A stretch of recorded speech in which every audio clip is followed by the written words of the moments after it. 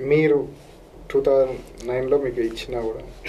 So ఆ two thousand eleven టైంలో మళ్ళీ వచ్చాయి. ఆ టైంలో మీరు ఏం ప్రయత్నం చేయలేదు?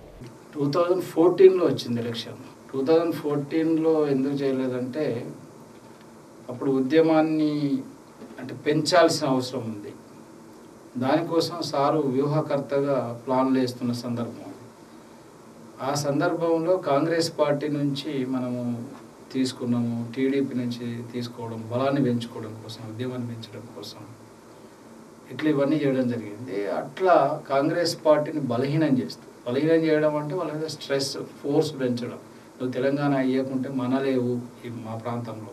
తెలంగాణలో అని ఫోర్స్ పెంచడం. ఆ విధంగా ఇప్పుడు ఎమ్మెల్యేగా ఉన్నటువంటి సోమవారం సత్యనారాయణ గారు కాంగ్రెస్ పార్టీ నుంచి వచ్చినప్పుడు ఒక ఆరు నెలల ముందు. సో అందుకని వారు వచ్చిన తర్వాత వెంటనే నాకు అంటే నేను ఎక్కువ ఫైనాన్స్ మినిస్టర్ గారితో ఉంటాను ఇప్పుడు ఫైనాన్స్ మినిస్టర్ గారు అప్పుడు ఎమ్మెల్యే వారు ఎల్పీ లీడర్ అప్పుడు. ఈటల రాజేంద్ర గారితో ఉంటాను. వారు క్లియర్గా చెప్పారు. శంకర్ అన్న నువ్వు టికెట్ మాత్రమే ఇంకా ప్రయత్నం చేయకు ఇప్పుడు. వెరీ క్లియర్గా సారు సువర సత్యనారాయణ గారికి అస్యూరెన్స్ ఇచ్చారు. సో వారు కోఆర్డినేట్ చేసి ఏ విధంగానైనా చేసి వారిని ఎమ్మెల్యే చేయాల్సిన అవసరం ఉంది. అది కూడా నువ్వే బాధ్యత తీసుకోవాలి చెప్పడం జరిగింది. క్లియర్ అందుకని ఇక టూ థౌజండ్ నైన్లో తెలంగాణ రావడం లక్ష్యంగా ఫోర్టీన్లో తెలంగాణ రావడమే లక్ష్యం తప్ప ఇక మళ్ళీ మేము పోటీ చేసి ఎమ్మెల్యే కావాలనేది నేను ఆలోచన కూడా చేయలేదు అసలు టూ థౌజండ్ ఫోర్టీన్లో. ఫర్దర్ ఏమన్నా అంటే క్లియర్గా అనుకుంటున్నాను. ఈ వచ్చే రెండు వేల పంతొమ్మిది ఎలక్షన్లో ఖచ్చితంగా ప్రజల్లోకి వెళ్ళాలనుకుంటున్నాను. పార్టీ ఏడలో ఉద్యమ నాయకుడు ఇప్పుడు ప్రస్తుత సీఎం గారు కేసీఆర్ గారు కూడా నన్నే కన్సిడర్ చేస్తాడు రేపు టికెట్ కని కూడా అనుకుంటున్నాను నేను. నేను కూడా పర్సనల్గా కూడా ప్రజల్లో ఆల్రెడీ నా వర్క్ స్టార్ట్ చేశాను. రేపు నేను మీ ముందుకు వస్తున్నాను ప్రజాప్రతినిధిగా ఎమ్మెల్యేగా మీ ముందుకు వస్తున్నాను కాబట్టి నన్ను ఆశీర్వదించాలని చాలా రకాలుగా ఆయా ప్రజల్లోకి వెళుతూ ఉన్నాడు కార్మికులు కావచ్చు విద్యార్థులు కావచ్చు యువకులు కావచ్చు రైతులు కావచ్చు. ఇట్లా అన్ని వర్గాల ప్రజల్లోకి మేధావులు టీచర్లు వ్యాపారులు అందరి దగ్గరికి ఆయా సందర్భాల్లో వెళుతూ ఉన్నాను. వాళ్ళ వాళ్ళకు కూడా అంటే ఇక్కడ ఉన్నటువంటి మొత్తం ప్రాంతవాసులకు నేనేంటో తెలుసు. నేను ఎప్పుడు జనంలోనే ఉన్నాను కాబట్టి వారు కూడా తెలుసు. వారు కూడా వచ్చే ఎలక్షన్లో ఆశీర్వదిస్తారని అనుకుంటున్నాను. గౌరవనీయులు కేసీఆర్ గారు కూడా మరి గతంలో వారు ఇచ్చిన ఆదేశానుసారం పనిచేసిన కాబట్టి నన్ను వారు తప్పనిసరి ఎమ్మెల్యే క్యాండిడేట్గా చూస్ చేస్తారని అనుకుంటున్నాను. ఇక్కడ సిట్టింగ్ ఎమ్మెల్యేని కాదని ఇవ్వడానికి ఛాన్సెస్ ఏమున్నాయి?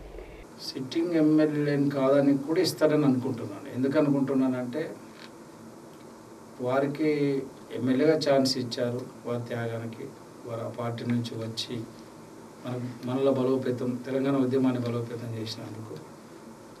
అట్లాగే వారి యొక్క జ్ఞానం వారు ప్రధానంగా ఇంజనీరు ఒక అడ్మినిస్ట్రేటర్ ఇప్పుడు ప్రస్తుత ఎమ్మెల్యే గారు. వారి జ్ఞానాన్ని యూజ్ చేసుకోవడానికి వారికి ఒక చక్కటి పోస్ట్ ఇచ్చారు కేసీఆర్ గారు. వారు ఆర్టీసీ చైర్మన్.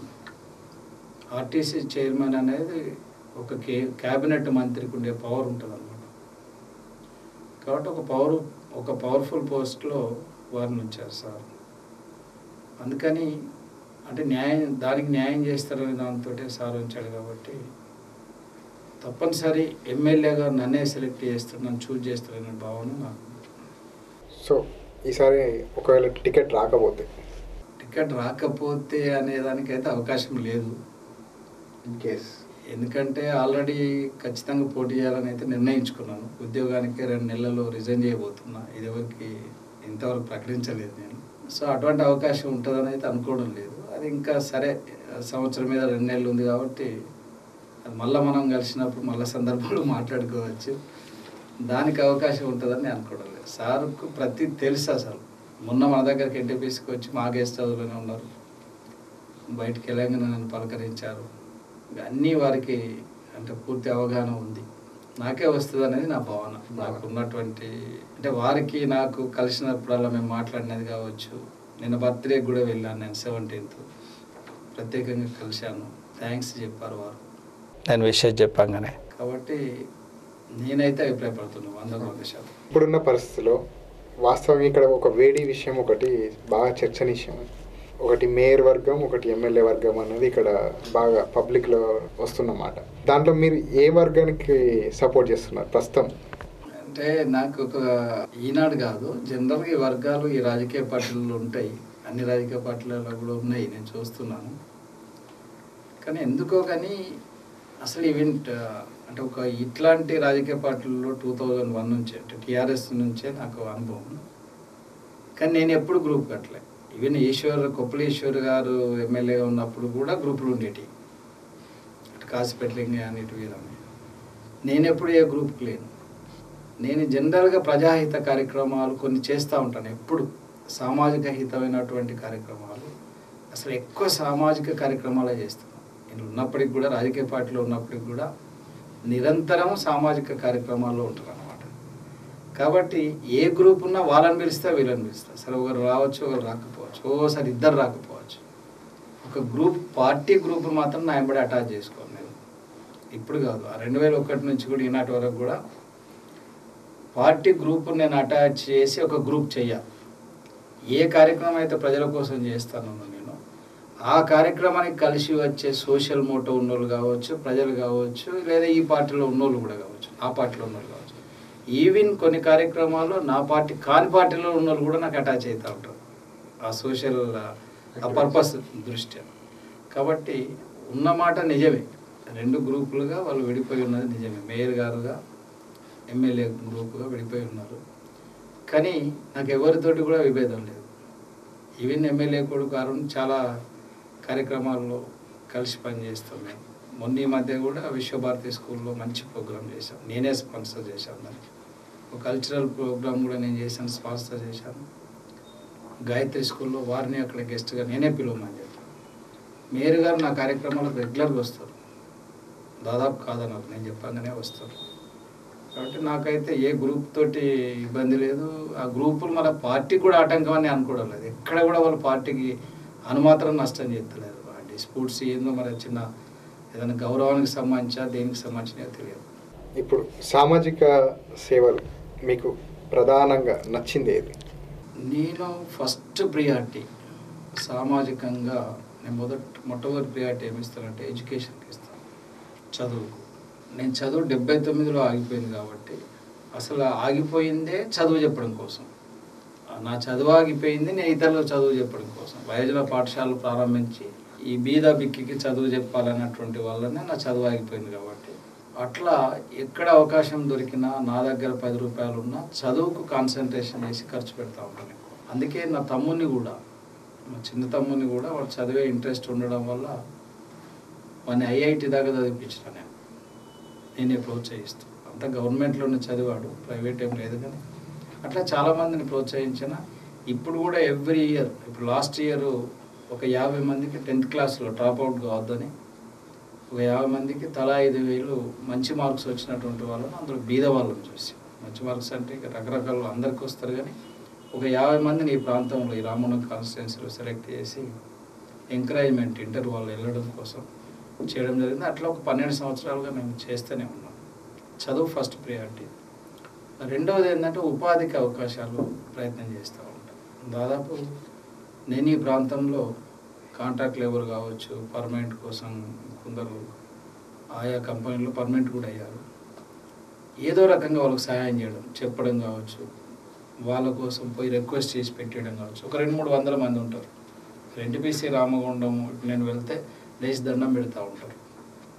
అట్లా ఉపాధి రెండవ ప్రయారిటీ ఇక మూడవది ఏంటంటే వాళ్ళు కొంచెం అన్ని రకాలుగా డెవలప్మెంట్ ఈ సనాతన ఆచారాలు సాంప్రదాయాలు ఇవన్నీ కొంచెం మంచిది కాదని చెప్పే ప్రయత్నం చేస్తాను. అది కొంచెం ఇబ్బంది ఉంది నాకు కూడా. నేను చెప్తా ఉంటాను వాళ్ళు వ్యతిరేకత ఏర్పడే భావం పరిస్థితి ఉంటుంది కాబట్టి శుచి శుభ్రత వీటికి సంబంధించి ప్రియారిటీ ఇస్తూ ఉంటాను ఎక్కువ. అంటే మౌలిక డెవలప్మెంట్కి సంబంధించి సామాజిక సేవలు. నేను ఇది చేయాలి అనుకున్నారు కానీ అది చేయలేకపోయింది ఏదైనా ఉందా? సామాజిక సేవలు అంటే కాదు కానీ ఈ ప్రాంతంలో నాకు ఏముందంటే నేను బాధపడుతుంది కూడా ఇప్పుడు. యాక్చువల్గా ఎనభై ప్రాంతంలో ఎనభై ఎనభై రెండు ఆ ప్రాంతంలో చూసినప్పుడు ఇది ఉపాధి సెంటర్గా ఉండేది ఈ ప్రాంతం. బయటి ప్రాంతం నుంచి ఉపాధికి వచ్చేవాళ్ళు అనమాట వచ్చినవాడు ఏదో ఒకటి ఏదో ఒక షాప ఏదో ఒక పని పెట్టుకొని బతికేవాళ్ళు. మనము తొంభై తర్వాత నుంచి దీన్ని ఈ ప్రాంతాన్ని అదే ప్రాంతాన్ని మనం పరిశీలిస్తే ఒక లక్ష యాభై వేల కుటుంబాలు మనం ఖచ్చితంగా ఎయిటీన్ లైన్ కాలనీ నుంచి అంతర్గాం వరకు మనం పరిశీలిస్తే ఈ రామూన కాన్స్టిట్యున్సీ అంటే ఈ పారిశ్రామిక ప్రాంతాన్ని మనం పరిశీలిస్తే అంతర్గాం లాంటి ప్రాంతంలో అయితే ఆకలి చదువుతో చచ్చిపోయారు. వందలాది మంది చచ్చిపోయారు. ఈ ప్రాంతంలో పిల్లలను పని సంపాదిం అంటే పని కల్పించలేక పిల్లలకు తల్లిదండ్రులు కొందరు ఆటో డ్రైవర్లు అయినారు పిల్లలు కొందరు కార్ డ్రైవర్లు అయినారు కొందరు ఏదో చిల్లర అయింది కానీ మిగతా ఎంతో మంది వేలాది మంది పని కల్పించలేక లాస్ట్కి వాళ్ళ కుటుంబాన్ని తీసుకొని వ్యవసాయ ప్రాంతానికి కావచ్చు లేదా వాళ్ళ కుటుంబాన్ని అంటే ఆ పిల్లలను దూర ప్రాంతాలకు బాంబే కావచ్చు హైదరాబాద్ కావచ్చు సూరత్ కావచ్చు ఇట్లా పంపారనమాట అయితే నాకు ఎక్కువ నాకు ఆలోచన వచ్చినప్పటి నుంచి అంటే ప్రధానంగా ఈ బీపీఎల్ పోరాటం అని ఒకటి చేసింటి మేము. అంటే బీపీఎల్ రావడానికి ఏ స్టేషన్ను ఎత్తేసారు అప్పటి గవర్నమెంట్? రా రామగుండానికి మూలం ఏ పవర్ స్టేషన్. ఆ ఏ పవర్ తీసేశారు? తీసేసి వేలాది ఎకరాల భూమి ఐడియల్గా పెట్టారు. పవర్ హౌస్ వస్తలేదు. దాంతో దాన్ని టేకప్ చేసి పవర్ హౌస్ పెట్టాలని చెప్పి అనుకున్న క్రమంలో బీపీఎల్ అనేదాన్ని గవర్నమెంట్ ఇంట్రడ్యూస్ చేసింది ప్రైవేట్ కంపెనీ. వాడు పెడతలేడు. పెట్టాలని చెప్పి మేము ఎజిటేషన్ చేసాము దానికి నేనే సాహిత్యము పాంప్లెంట్ గింప్లెంట్ అంతా రాసింది నేనే. అప్పటి నుంచి నేను పరిశీలించి అసలు ఏంటిది ఈ ప్రాంతం ఇట్లా ఎందుకైంది? ఇక్కడ ఏమి తక్కువైంది? ఎంక్వైరీ చేస్తే నాకు బయటపడ్డది ఏంటంటే పంతొమ్మిది వందల అరవై రెండులో Jawaharlal Jawaharlal Nehru Ramagundam station B station ఇనాగ్రేషన్కి వచ్చారు. బి స్టేషన్ అనేది యాక్చువల్గా స్టేట్ గవర్నమెంట్ కాదు. ఏ స్టేషన్ కూడా అంతకు ముందే మనకు మన స్టేట్ ఏర్పడక ముందే వచ్చింది.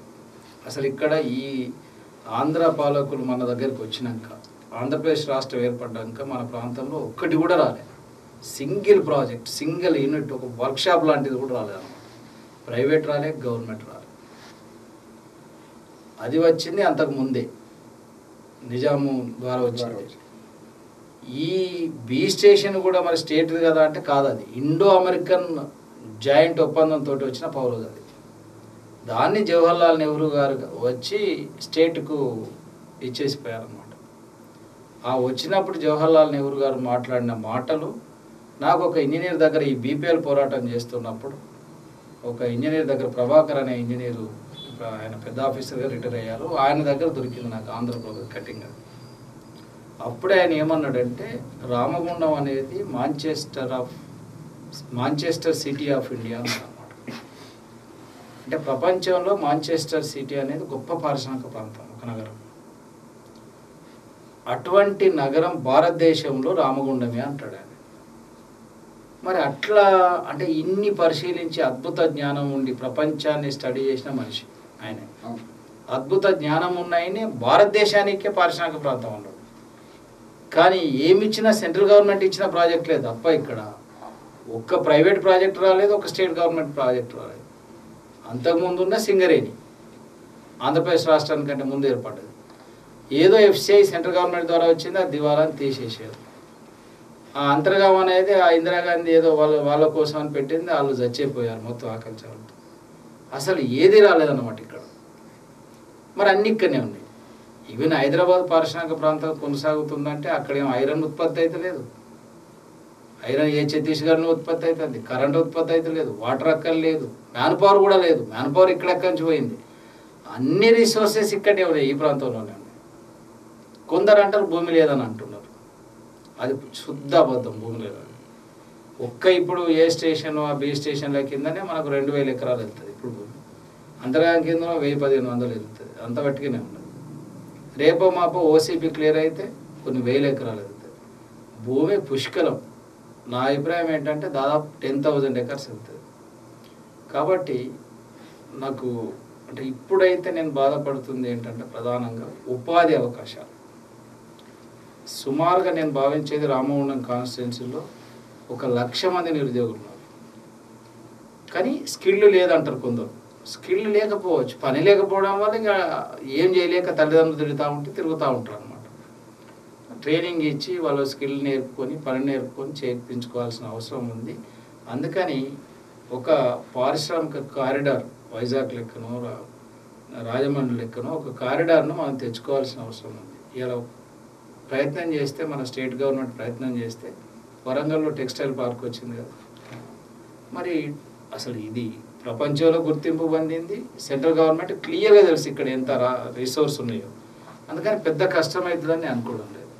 ఈ రిసోర్స్ను యూటిలైజ్ చేసుకోవడం కోసం ఒక పారిశ్రామిక ఒక ప్రాంతంగా దీన్ని డిక్లేర్ చేస్తే ఆ ఫెసిలిటీస్ అన్ని కనుక మౌలిక వసతులు కల్పిస్తే గ్యారంటీ ఇండస్ట్రీస్ వస్తాయి వేలాది మందికి లక్షలాది మందికి ఉపాధి అవుతుంది అనేది నా అభిప్రాయం.